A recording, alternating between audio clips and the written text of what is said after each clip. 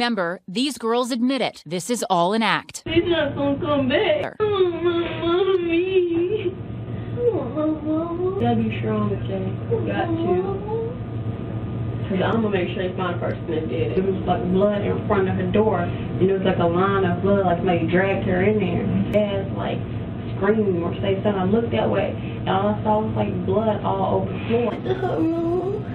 Room, and oh, I seen the blood all in there on the floor. And I went in there and I seen her and I touched her. The girls have had a history of domestic troubles with their mother for years. It's evident by this handwritten letter recovered by police at the scene. It was sent from Jazz to her boyfriend. She says, I just hate living here, being with her. Me hate her and stuff. When she was dead and she really did die.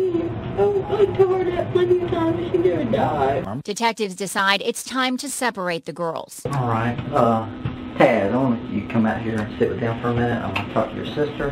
Why are y'all gonna separate us? Because we need to talk to y'all separate. I know it's it sounds mean, but it's really not. You think we did it? Why you say that? Because it, it, it seemed like it.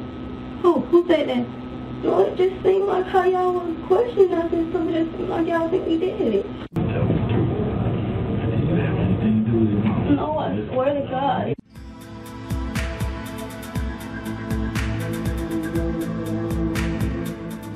And we believe it is important for you to hear the truth about what really happened inside that house between those twins and their mother.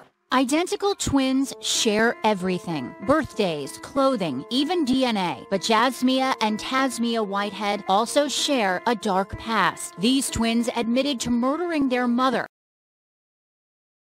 It wasn't like it was a, fight on the street, it was more of a fight to somebody die. A fight with their mother after waking up late for school. She just started waving the pot around things like that or whatever it is. So I guess she trying to hit us with the pot. You know, she just threatening us and everything. Your mom's yelling? We are all yelling. Everybody's yelling. We all, is we mad. I had took the pot from her. This one she had grabbed and I kind of turned like she said, get back. But she didn't keep the knife in her hand. My mom is, just is winning that, that battle with the knife or whatever, so I, I picked up the pot and I hit her with a pot. I think Dad stabbed her.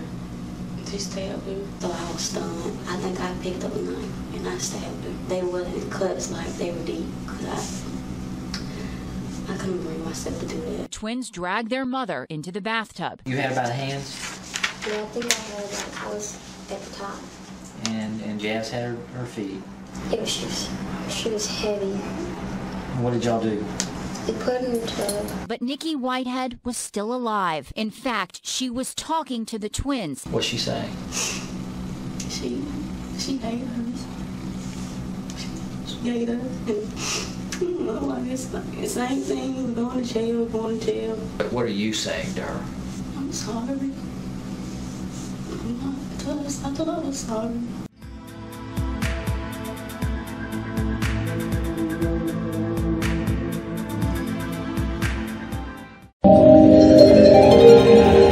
YK Channel